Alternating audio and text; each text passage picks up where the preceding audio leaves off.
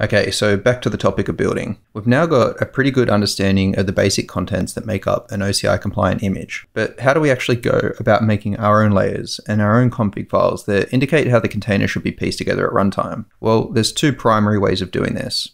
We can use tools like Docker or Podman with a Docker file, which is now, by the way, also sometimes called a container file, for using OCI compliant tools other than Docker like Podman and Buildah. Just on that, in terms of capability, Podman is everything Docker is and more. So if you're on Linux, I suggest installing the Podman tool instead of Docker, and I'll talk more about the differences between the two in the running containers video. But for now, you can literally actually create an alias for Docker pointing to Podman if you wanted to, and all your favorite Docker commands will continue to work exactly as you'd expect. Now, option number two would be building from the command line. And to do that, we can use a tool called Buildah. Now, both options can get you the same result. In my opinion, the Docker file is easier to grasp and start with, but the CLI based Buildah method definitely has its advantages that the Dockerfile approach just can't provide. So we're going to take a look at both of these methods and we'll start with the Dockerfile. So to start, you'll obviously want to make sure that you have Docker installed on either your Windows or Mac. To do this, you can head to the Docker site and you can see on the left of the screen, you have Docker Desktop and you can select either Mac or you can scroll down a little bit and there's also Windows as well. Now let's go back to our demo app and have a look at the Docker file that's in that app. So this is an example of a Docker file. Each new line in this Docker file directly corresponds to a new layer in the Union file system. Now we'll quickly go through what each of these lines is actually doing in a moment, but if you need to read more or want to learn more about the Dockerfile API, you can head over to the Docker site and have a read through that as well. It's called Dockerfile reference, and you can see on the right hand side of the screen, you have all the commands that can be included in a Docker file. Now, in terms of what this file here is doing, we can start from the top. The from directive indicates to the build tool that in this case, it should pull the node 14 container image and use that as the base layer for the container that we're going to build.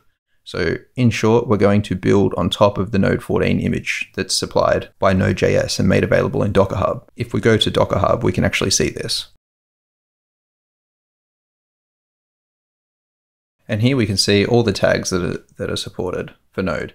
So we've used this tag here, just the number 14. And in this particular Docker file, we're doing a multi-stage build, which means that we've got two from directives so when we have two froms, we need to give each of the containers a unique name. So this file is really creating two separate containers. On lines 3 and 4, we set some environment variables. On line 6, we set a working directory. And all this means is that we're creating a directory and any subsequent commands that we issue in the Docker file will be applied to that working directory. We then copy all the contents from our local directory on the host OS into the containers working directory. So at this point, you can imagine that we're inside the container, we're inside the slash app directory, and we have all the files from the left of the screen on the host. We have them available to us inside the container now.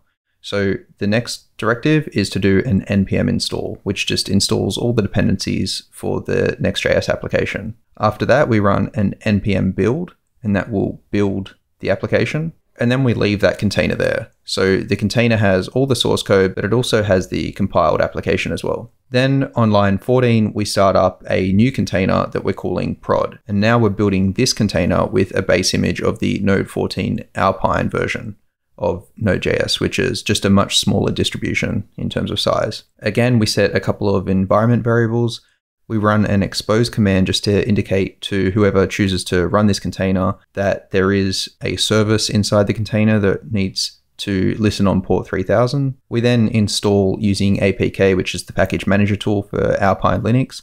We install a tool called StressNG, which is definitely not necessary for the web app, but it's going to help prove some points towards the uh, end of this video series when we're running containers and we want to uh, do some testing. Once again, we set the working directory in this prod container to slash app as well.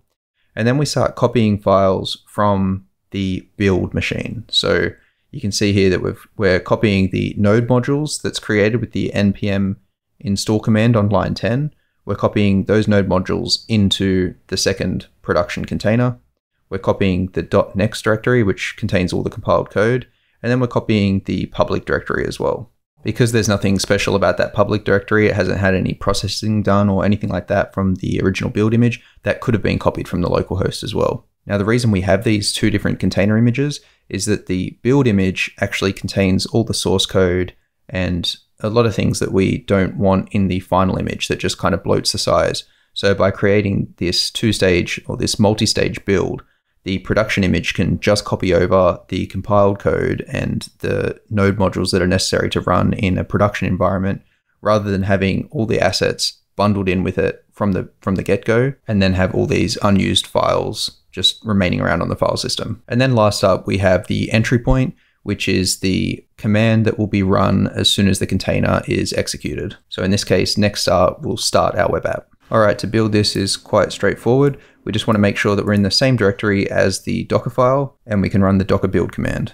So in this case, we're going to tag the image with the name of the image registry, then a slash, and then the namespace inside the registry, then another slash, then the container name, and then we have a colon and the version number or tag. And then we indicate the directory of the Docker file, which is the current directory, and we hit enter. If you're not sending the image to a container registry, you can actually ignore the, in this case, au.icr.io slash rhey part of the build image tag. You only need the hello world colon version 01. But because we're sending this image to a container registry, it just means that we don't have to retag it with the registry name and namespace later. Okay, so we've successfully built that. We can have a look at our images. So here you can see at the very top of the list, we have our latest container image that was created. It says about a minute ago. And just below that, where it says none, is actually the build container. So you can see the significant difference in size between the two, and we can remove that image as well if we like. All right, now we can start the image that we've just built. So in this case, we're running with the detached option, which is dash D. We're using dash P to map the host port 7000 to port 3000 inside the container, and then we're specifying the full container name with the tag at the end, which is version 0.1 in this case. So let's check that. And there we go, easy enough. Now let's take a look at a couple of other things before we move on to the Buildah example. Let's take a look at the layers of the image that we just built. To do that, we can use a tool called Dive.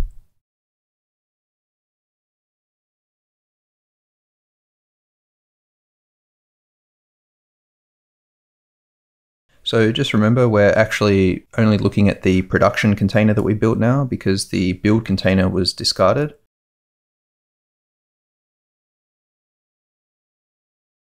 So on the left-hand side of the screen, you have the ability to now scroll through each of the different layers and you can see the impact that each layer has had on the right-hand side of the screen. So the first few layers are just a result of the from node 14 Alpine directive. Then as we move down, we can see that we have this apk add stress ng.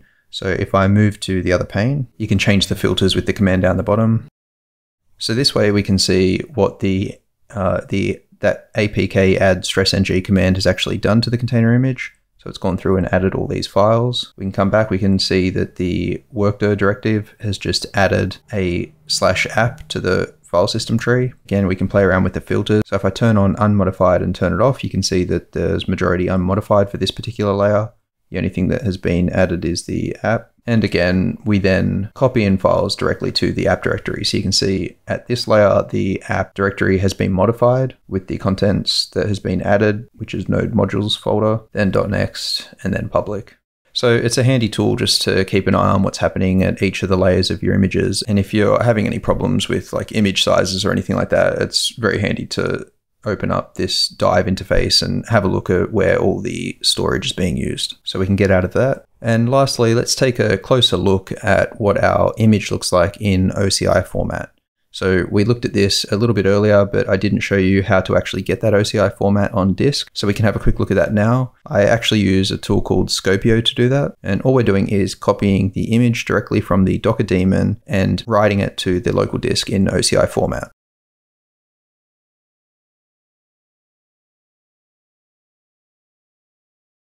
Okay, and now we can see that we have this hello world directory here, and we can see that it's the exact same format that we had when we looked at it earlier. Okay, so there's obviously much more to Docker files than what we've been through here, but I think that's probably all you need to get started with building using them. So let's move on to building the exact same container but using the Buildah tool instead. So Buildah is a little different to Docker and Podman. It's really only used to build, push, and sign container images. So unlike Docker, but I guess similar to Podman, Buildah doesn't rely on a central daemon and also doesn't require root access, which makes it really convenient to run, uh, especially for things like CI CD in OpenShift, where Buildah is now actually used from version 4 onwards. Now, I'll go through all the Buildah commands on the command line, but just keep in mind that it's definitely a lot more common to put these commands into a shell script for repeatable builds. And the Buildah repo on GitHub actually has some really good examples on what those shell scripts look like. So you should probably check that out as well. Okay, so let's move over to our build machine now. So just quickly before we start, I just want to point out that Buildah is just like any other container engine. So it hooks into the same container cache as other OCI compliant tooling like Podman. And what that means is we can run the same commands and get the same results.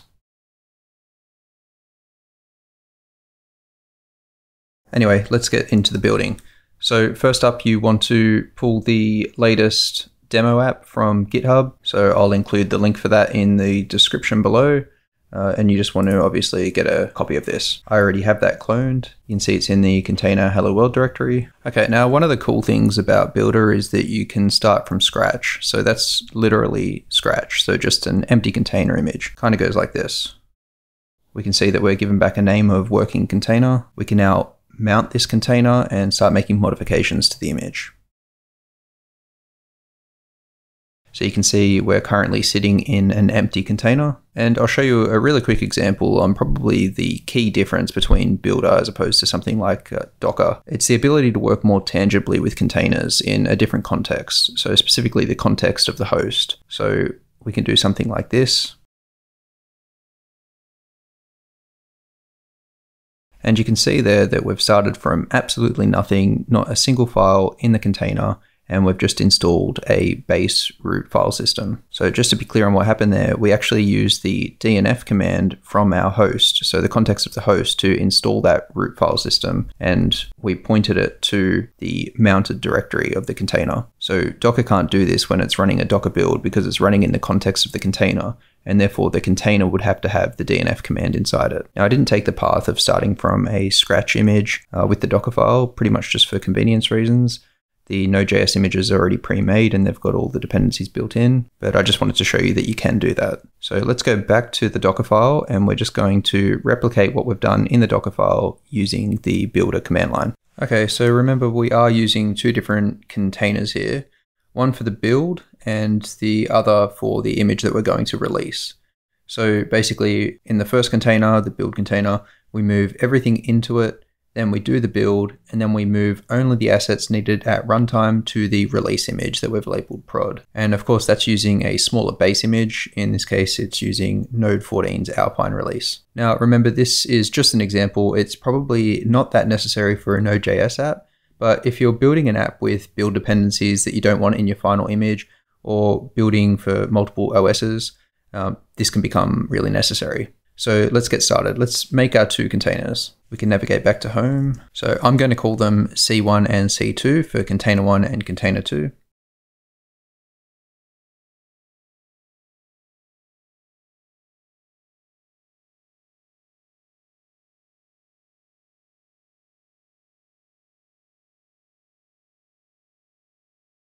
And now we can mount these containers to environment variables that I'll call M1 and M2.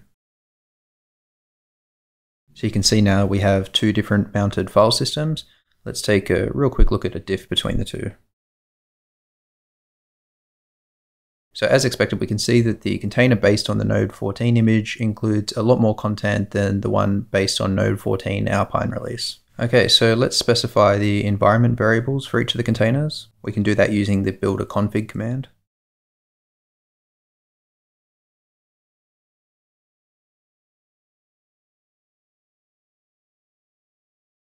So like I mentioned earlier, we can actually check the progress of our Buildah containers whilst we're still in the process of building them. So let's quickly check that those environment variables have taken effect.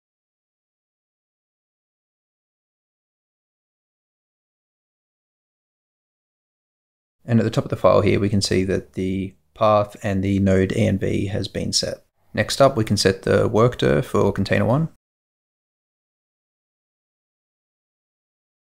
And then we want to copy the source code into the app directory. We can use the buildah copy command for this.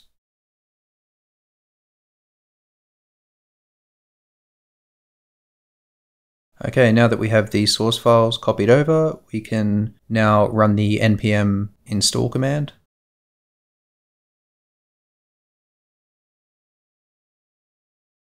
Now that we have node modules available inside the container mount, we can now build the application.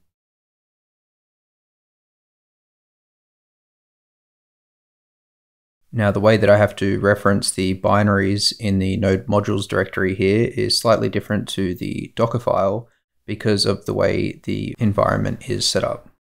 Okay, so we should now be able to see that we've got the app built in the build container. We can see the .next directory that contains the compiled code. Now we can move back to the prod container. So next on the list there was to expose port 3000 TCP. And then we can install stressng.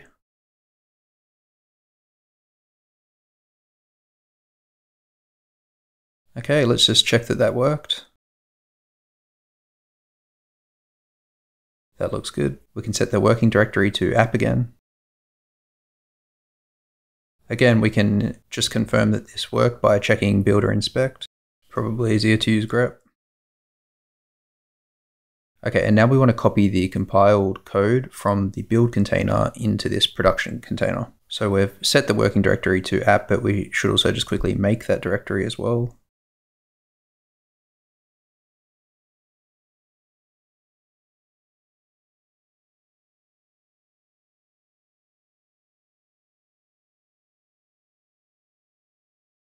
And we can copy the public directory I guess we can we can do it from the host if we want, just to show something different.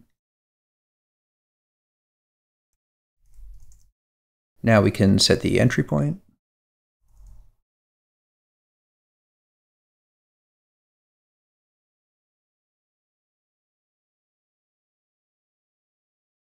And there we go to finish off the build process. We can just commit the container image.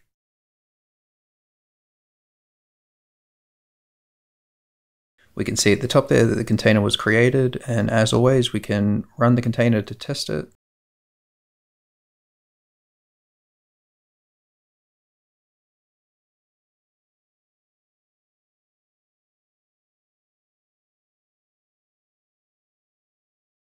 And there we go, we end up with the same result. Now we just want to clean up a little bit after ourselves after using Buildah. So you can see we still have the Buildah containers sitting around. So we can clean them up with the buildah delete all command. And the mounts should no longer exist. And that's that. So you can see it's more complicated than just using a Docker file for simple builds. But when you're getting into the nuts and bolts of your builds and you really need to customize things or inject secrets or you know also have software installed from subscriptions that you have activated on the host itself, uh, outside of the container, then Buildah can really help. So it's also worth noting though that Buildah can be used to build containers via a Docker file too. So you can use the BUD option, which is build using Dockerfile.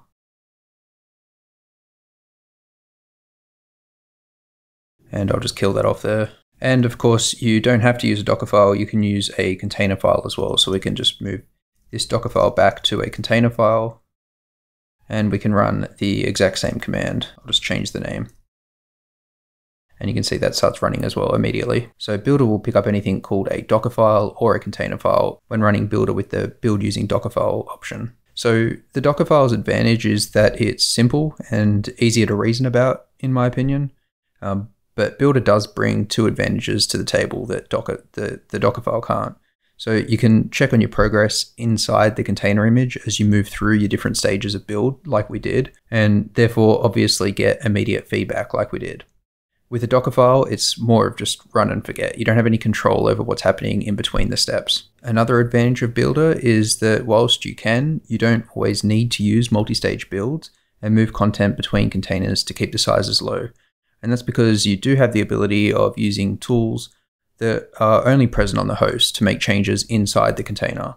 Uh, like we saw when we created that file system from the Scratch image, we used DNF that was available on the host, but nothing was available inside the container. If you have time to join me in the next video of the series, we're going to be looking at distributing this container image that we just created using a container registry. So we'll take a deeper dive into both container registries and what they provide, as well as the tooling around them. So we'll look deeper into Skopeo, Docker, and Podman. So thanks again, and bye for now.